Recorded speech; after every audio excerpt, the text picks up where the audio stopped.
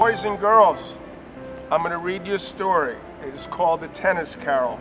Charles Dickens, foreword by the John McEnroe Tennis Academy. It goes something like this. Once upon a time, a grumpy tennis pro named Overhead Ebenezer Scrooge stood on the tennis court on a cold winter's night. He was coaching the current top player, Rob Rackett, who shivered as he practiced because Scrooge refused to let him take a break to get warm. No matter who passed by, Scrooge's family members, spectators, holiday carolers, or even big tennis fans, Scrooge would shout out the same grumpy response. Bah humbug.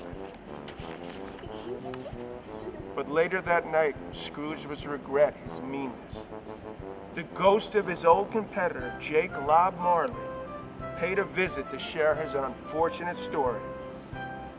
As a punishment for Jake's bad attitude in life and on the court, his spirit was made to wander the earth, weighted down and tangled up in old tennis nets. Marley warned Scrooge that to escape the same fate, he must be coached by three ghosts during the night. Patrick, all right, take it from here. Okay. Scrooge woke up moments later to see the childlike ghost of tournaments past hovering over him. The ghost took Scrooge on a journey to matches from earlier times. He saw his old friends and remembered how much fun the game used to be. Then the ghost of tournaments present appeared. A majestic giant wearing neon tennis apparel took Scrooge through New York to the U.S. Open courts of Flushing, Queens, and unveiled matches happening that year. Scrooge watched his player, Rob Rackett, with his family and friends excitedly cheering him on as he prepared for his big match. Scrooge saw that Rob Rackett's son, Tiny Tim, was also a gifted tennis player who demonstrated such talent that it inspired Scrooge and warmed his heart. Scrooge found the Rackett family's love of the game uplifting and pleaded with the spirit to stay until the end of Rackett's match. But the spirit refused and returned Scrooge to his bed. And now Lawrence. Thank you.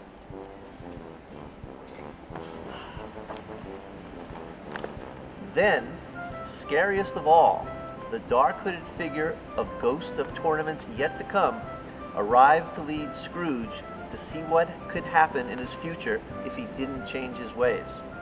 After pleading with the ghost, Scrooge found himself alone and miserable.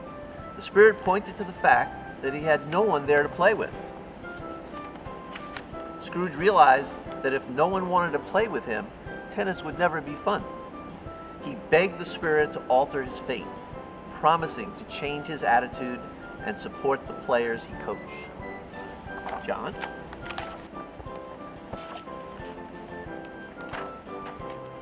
Whoosh! Scrooge suddenly found himself safely tucked in his bed.